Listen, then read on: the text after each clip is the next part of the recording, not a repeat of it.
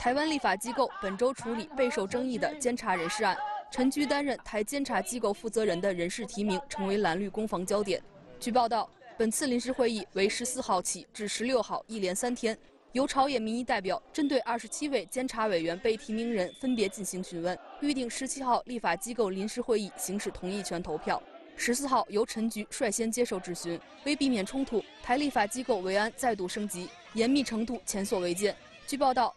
台湾立法机构临时会议期间，以加强周边维安，除了在机构外架设障碍物、封锁多个路段外，台当局行政主管机构、蔡英文办公室都派员支持，超过千名警力在临时会议期间布防立法机构周边。此举引发台民众不满，批民进党当局过于浪费警力，而民进党方面则表示，这完全是所谓备战需求，就没有办法走上去。对。所以当我没问题，大蓝越弄越高啊！之前还没那么高，是越弄越高，一层不够。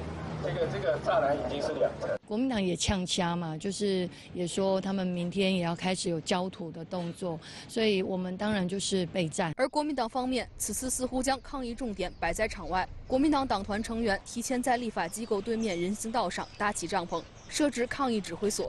希望借此鼓动更多支持者到场反对蔡英文提位的二十七名监委名单。也在这边要奉劝陈局，呃，应该要自行的哈，呃，退出这个监察院提名。在临时会议召开前，台立法机构召开监察人事案的公听会。开会原本应该出席的八位审查小组民意代表，却只有国民党的一位民意代表按时出席。对此，台学者怒斥，感觉自己被民进党当猴耍。不要把专家学者像猴子一样的耍弄，我们讲的是白讲。我我跟林教授报告。你去调查一下。没关系。你去调查一下，看有现在有几在那边看。不，林教授。如果没有的话，就是对我们非常的不尊重。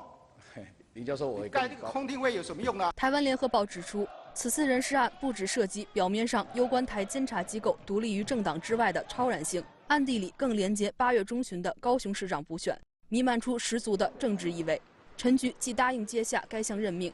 就不可能不知势必引起争议，但民进党当局仍一路袒护，更凸显此地无银三百两的味道。人事同意权案审查在即，台立法机构高度戒备，就是尽可能让该案尽快通过。种种迹象显示，民进党上下全动了起来。但就算强行过关，这对陈局上任后的公信力很可能会产生影响。近日，台行政机构负责人苏贞昌在出席活动时表示，近来治安事件较多，蔡英文感到忧心。他也很难过，要求各县市警局长要负责。他强调，奖励要从底层开始，但追责要从负责一个县市的局长和相关负责主管开始。我也要讲几句丑话。这些日子有比较多的治安的事件，表示非常忧心，我感到很难过。